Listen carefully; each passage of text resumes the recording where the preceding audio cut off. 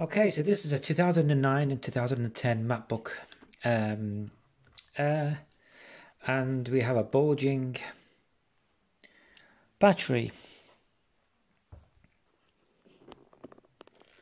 You see, uh, it's a bulging, uh, it's coming right through the bottom here, right through into the touchpad, and uh, we're going to replace this. Um, you can see there it's coming right through the uh, it's bringing is pushing the touchpad upwards. And so we have to get replace this battery. Uh, defective battery. Don't know all the um, lithium ion battery or the, it's gone mad basically. Um, it's ballooned. So you're gonna have to uh, a bit like your mobile phones. Uh, that happens some, sometimes on that like that, especially when it gets very hot. Uh, so anyway, you're going to have to re remove this uh, replacement battery and um, put a new one in. So first you're going to have to do is uh,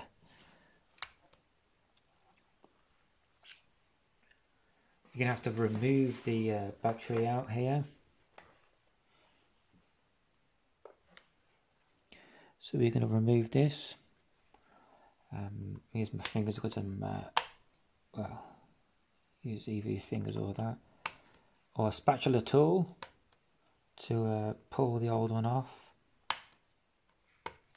That one's fine. And I've already removed the two screws already. You're going to need a, a specialist uh, Apple screwdriver. Um, like that it's got three it's a bit like a Phillips but it's only got three uh, edges to it. Um, yeah, you just get them from eBay, what have you. So I removed the first two already. Uh, you've got screws one, two, and three. One, two, and three. And uh, so I'm going to remove this one on this side.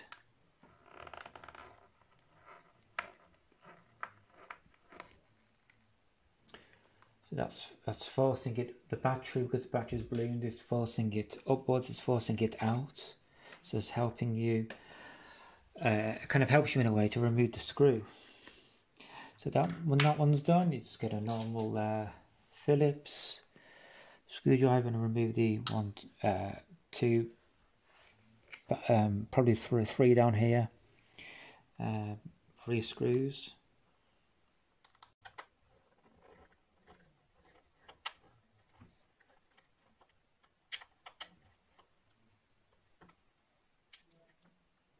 One gone, two.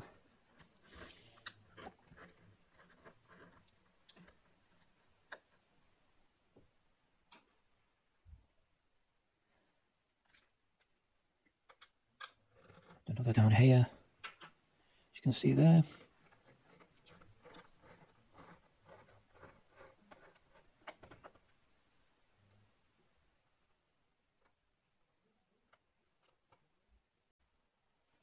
There you go. Now you should be able to, that's three screws, now you should be able to remove the battery fully. As, as you can see, the ballooned batteries over here. Um, always wash your hands as well after handling this because you never know what might leak, what, what might be leaking. So that's definitely going to go in the bin. Uh, the um, Veolia recycle unit for sure, not not in the. Do not put that in your domestic home bin.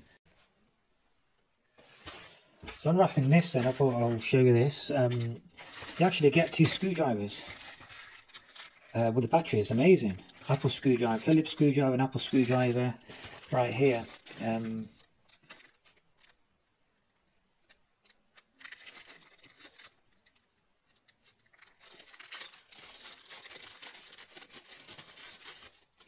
so yeah, amazing, amazing. Not bad quality either, quite thick. Quite thick metals, I reckon. So you got your Phillips and you got your, your Phillips and you got your Apple screwdriver there.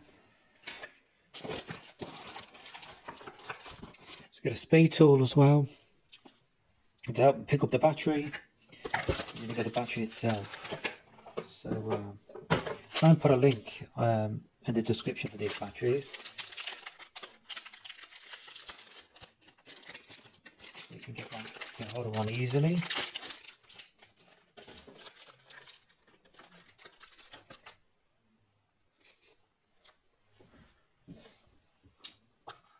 Now what we're going to do is obviously, you've guessed it right, we're going to plug the battery in here. So, uh, so again, very, very straightforward. You, obviously you can remember how that the other one, the original came out. So you put it back in the same way, take the plastic off. Obviously you can see the replacement battery. Um,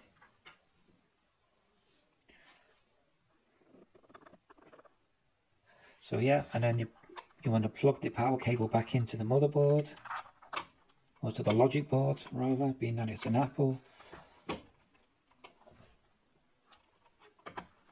Here you go.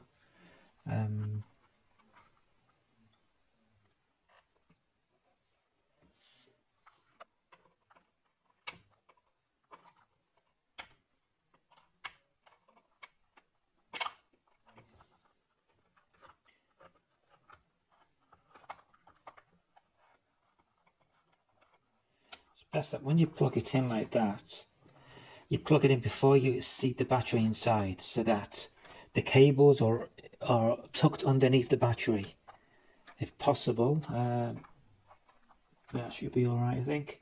Yeah that's alright otherwise it'll stick out and then it will just uh, be hard for the, to put the case back on. So that's fine. So um,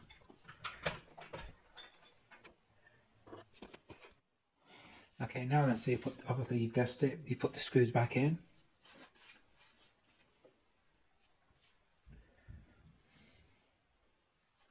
So you've got Phillips down here.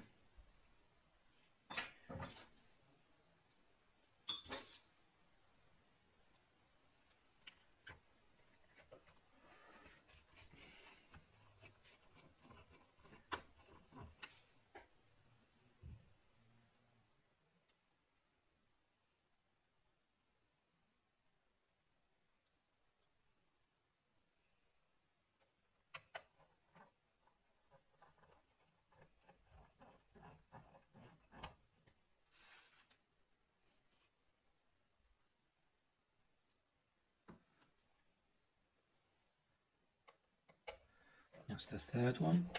The third Phillips screw.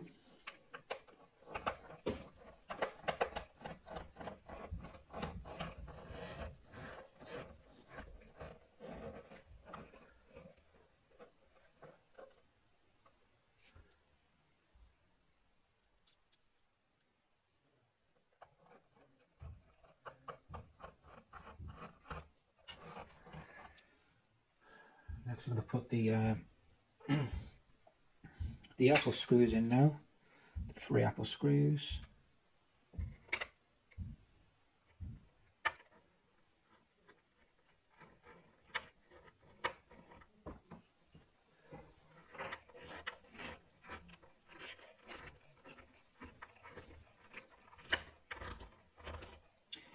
We have to screw these in really tightly, these ones, apparently quite deep screws, so that's that one in.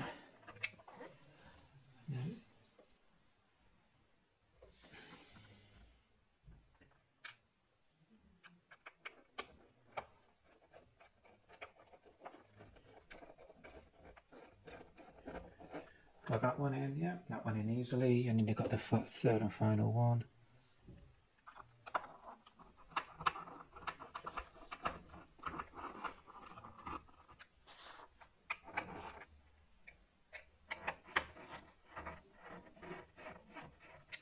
Sorted.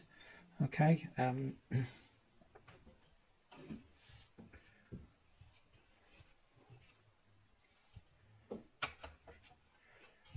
that's it. And then you can obviously uh, put the lid back on.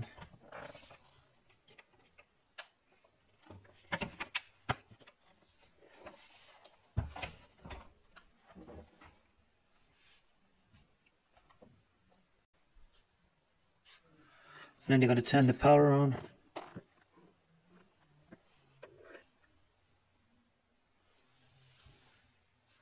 There you can see it's turning on there.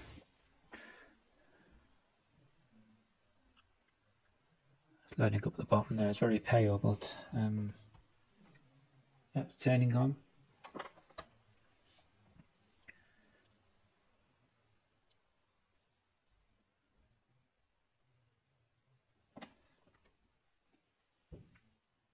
Very very pale uh, because of my uh, bright lights on it so uh, but it's turning on fine. So uh, yeah that's how you do it. Pretty simple really. Um hope you enjoyed this video. Uh, please like subscribe. Thank you so much for watching. Take care. Bye for now